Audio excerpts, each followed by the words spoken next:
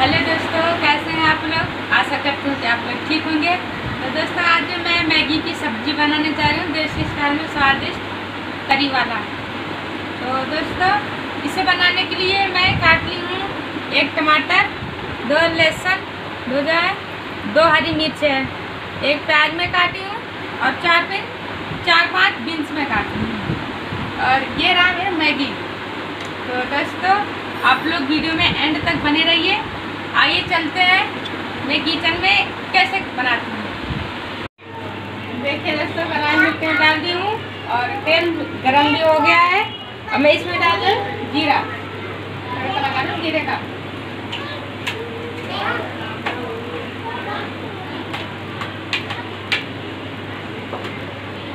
मैं डाल लहसुन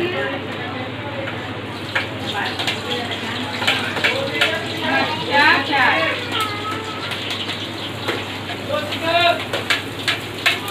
अब इसको थो- थोड़ा लाल भूनूँगी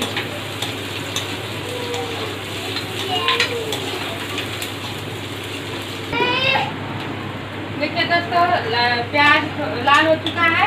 अब मैं इसमें बीन्स डालूँगी। बीन्स इसमें डालने के बाद थोड़ा सा इसे भी लाल करूँगी।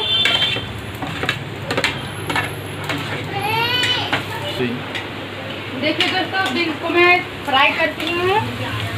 बीन्स फ्राई हो चुका है। मैं इसमें डालूँ टमाटर।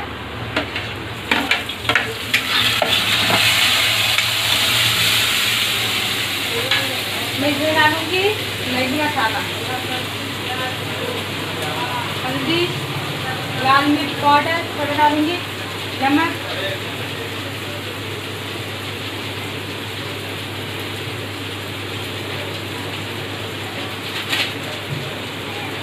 ये दोस्तों मैगी मसाला।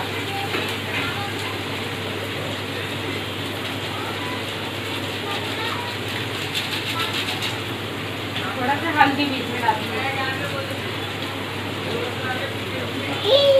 ये लाल मिर्च पाउडर।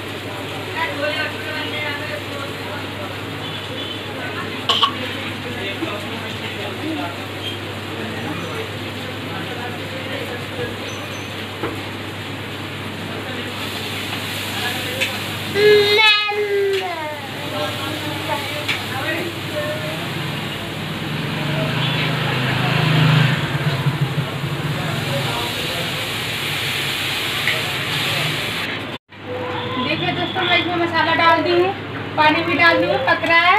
अब मैं इसमें डालूँगी मैगी।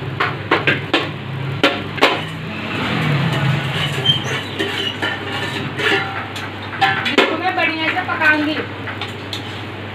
बढ़िया से पक जाए।